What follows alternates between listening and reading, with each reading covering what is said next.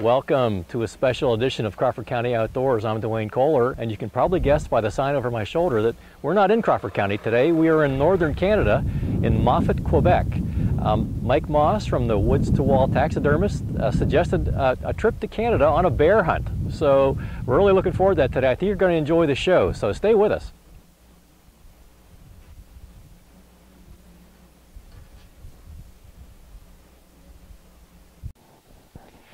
Well, Mike, I had my first bear hunt, and it was quite an experience. And uh, um, I, I know it got, yeah, got the heart racing a little bit there, but It but how, how'd I do? You did awesome. You did everything you were supposed to do, and I actually got to give you big props. I mean, we had a cameraman there for you who got sick. You stepped up to bat and you filmed your own hunt. Uh, very difficult to do with another guy in the stand with you, but uh, to do it on your own, I give you props.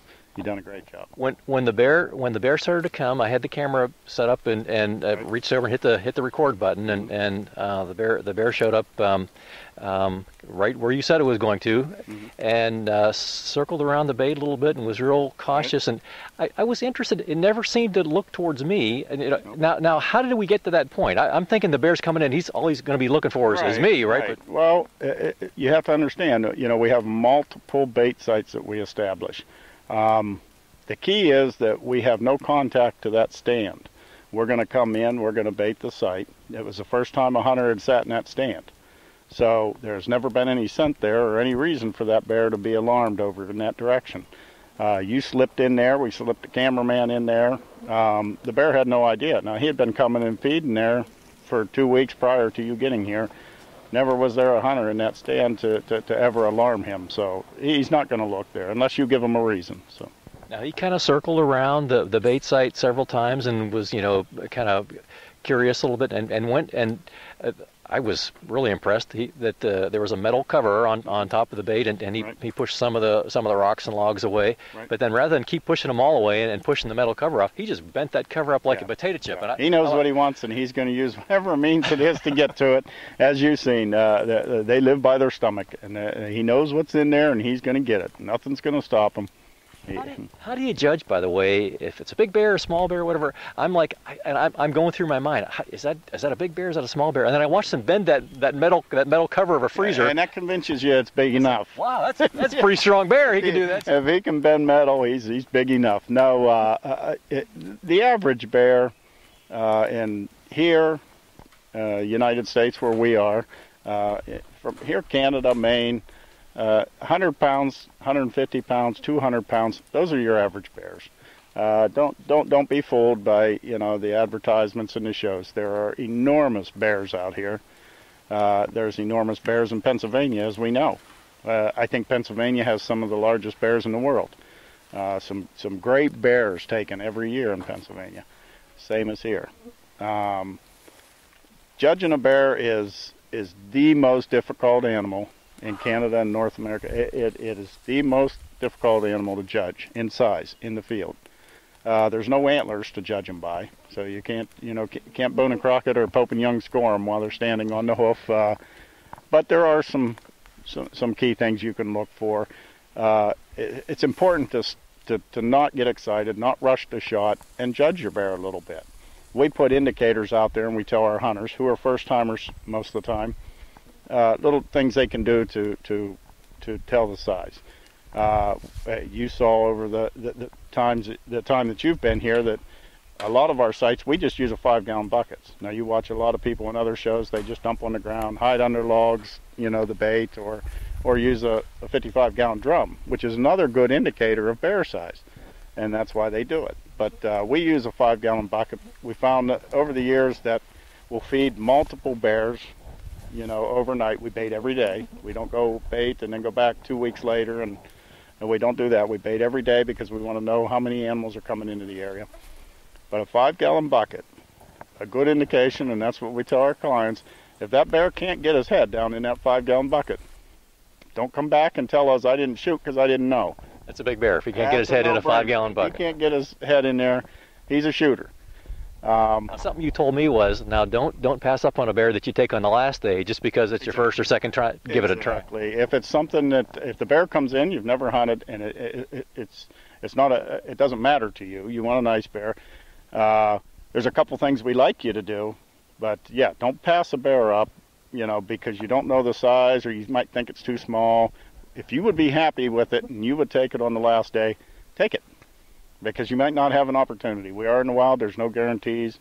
You may never see another bear. We have a couple hunters at week this week here. Uh, we got two hunters left, and we'll be 100% again this year on on shot opportunity. Uh, but those two hunters, it, we're coming up on week's end, and they're probably thinking, should have taken that smaller bear, you know. It's, but uh, no, if it's something you're happy with, take it now because tomorrow might not be there. Uh, but uh, to judge the bear again, to get back to that, uh, we give you a couple indicators with the bucket and stuff like that. If it comes in and it has to reach for the bucket, obviously it's not, it's not a big bear. It's a five-gallon bucket. It stands 18 inches high, so uh, if he doesn't come in and put his head on the bucket, if he's twice the size of the bucket, that's a good indicator he's you know a little better than average bear. Uh, that's a good indicator. As far as the animal itself, if his belly's close to the ground and he waddles in, he's a big bear. Whether it be a sow and, and have some age to her in size, or whether it be a big boar, that's a big bear. If the belly the, is close to the ground and he's waddling, it's a big bear. Look for the big bear crease. Uh, male bears have a, a mus muscle structure on their heads that when they reach maturity, there will be a, a, a, perfect V down the center of their head. Their ears will look small and, and, and out of proportion to their head. It'll look like they just have nubs. That's a huge bear. You can't be fooled by that. That's a huge bear. Uh, you can't use the muzzle. Some people say, oh, if it's got a short muzzle, it's probably a broad, big muzzle, and that's why it's short. The head's big. But that's not a good indicator because females typically have a shorter muzzle. Uh, females. We uh, don't want any of our females shot. They're hard to judge, and females get taken, but they're the next generation. Um, we want to take male bears to control the population. Uh, we don't want to rush the shot. We tell all our hunters, we have a little briefing with our hunters and stuff prior to their hunt. Uh, wait until the animal comes in because oftentimes the sow will come in first and she's got cubs. If you wait and give that sow a little bit of time, those cubs will come in. It's not always, I've, I've heard outfitters tell uh, people at shows and stuff, uh, the cubs will run right in first. And you'll know, well, it's a sow then. That's not the case. Uh, unfortunately, we have had sows taken, and, and, you know you can't lie about that. It's if a sow's taken and she's got cubs, nobody wants that. The hunter doesn't want it, we don't want it, but uh, just wait. I mean, if you have to pass up a sow that's got cubs and you don't get a bear, you've done a good thing. You know, uh, you don't need to do that. So. So the, the, the bear that did come in for me, I watched it for several minutes. I think it, uh, I have to look back at the video, but I think it was seven or eight minutes, and, yep. and finally presented me a good shot. Um, and I remember what you told me. Now, aim behind the behind the shoulder and mid body, and I think I got him right there. And you, I, I think your video is going to show you couldn't have got a more perfect shot. Boom, went right that down, yep. and took off and running. I'm like, uh oh, that bear, that bear took off running. They are a bear. You know, you can put them right down, or they can go. And and, and the bear you shot is indicative of the, the bear that you're going to get. That is, it's a good specimen. It's the average bear. Um, the coat was fine. I, I, mean, it was a beautiful bear. Uh, but that's the average size. I mean, it was not a small bear by any means, and it was not an enormous bear. But that's what the, the customer is going to get typically is is that size bear. But uh, uh your shot, uh, you couldn't have you couldn't have made it any better. So he ran out of the frame and he started to run uh, up a little bit of a hill, and I'm hurried I'm getting another shelling rather than swing the camera right away. Um, and he got part way up the hill and just kind of tumbled back down. And then he started uh, like a moaning and groaning kind of a thing. Well, uh, what's up with that? It's what's referred to as the death moan. It's a, that bear's last breath. Uh, they do that when they're when they're lung shot. It, it, it's not to be uh, graphic or grotesque, but uh, if a hunter hears that death moan, because the animal has disappeared in the brush or whatever. If he hears that death moan, it's it's it's a good feeling. The animal has expired very quickly, and you know that although that's the last breath of that animal, you know that that animal is is done, where it's at, and that it was quick. And your your uh, your bear died very quick, had no idea what happened to it, and uh, it, again it expired quickly because of a well placed shot. Well, I appreciate the coaching, and it worked out well, and so thanks. Oh, thanks. Congratulations. I'm glad you got them. Joining us now is Bobby Turbin. Bobby, you're from Wattsburg area? Uh, yeah. How'd you get How'd you get here in Canada to get uh, get a bear hunt going? Um, actually, uh, my friends Ed and his brother Mike, who's the guide, um, they asked me to come up with them. So, what was it like your first time here? It was great. Uh, I came up, sat in the stand for a couple days. Kind of got a little nervous because I wasn't seeing anything, but then I seen that bear walking in, and I'm like, Whew, "This is awesome." Now, was it kind of like that whitetail fever that you hear about? You know, did you get your heart going pretty good there? Yeah, I mean, I've got the buck fever a couple times, but never like with the bear. With the bear, I'm real shaky. I mean, it was it was really awesome. I was your cameraman. I was right there with you, and uh, we were close. That bear was only what Yeah. 15, fif- something like that yards away, it and was it was really close. Probably about yeah, like you said, 10, 15 yards. It was awesome.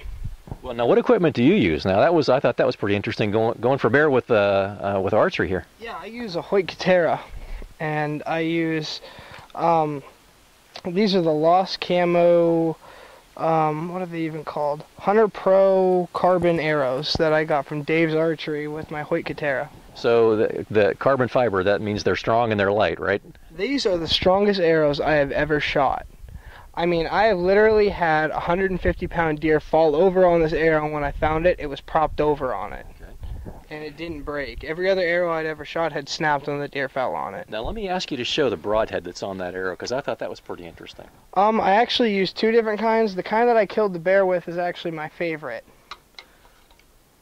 This is the one I actually killed the bear with. This comes out, and it's called a Rage. It comes out, it has a two inch cutting diameter. I should probably show the other one, because that one has the broken tip on it. And that broke off in the bear. Is that what happened there? Yeah.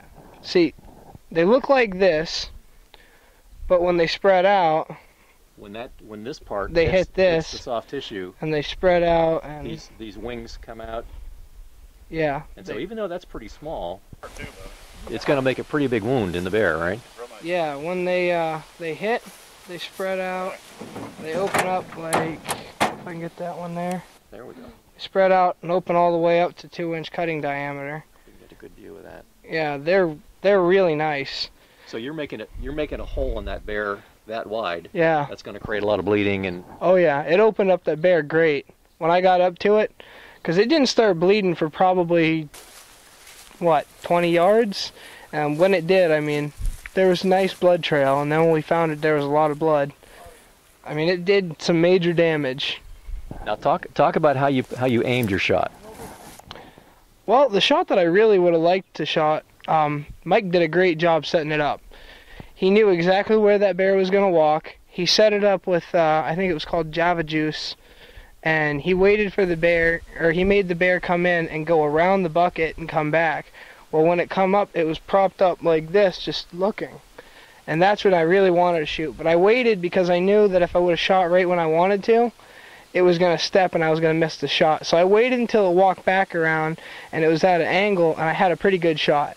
And I got it right behind the shoulder and it was long shot. It was a great shot.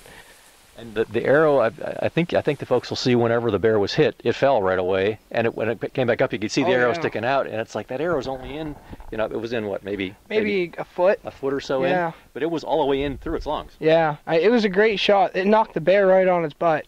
I mean, it rolled over probably once or twice, and then it got up, and I mean, it wasn't sprinting away. It was, it was definitely hurting. It wasn't even using its other leg at all.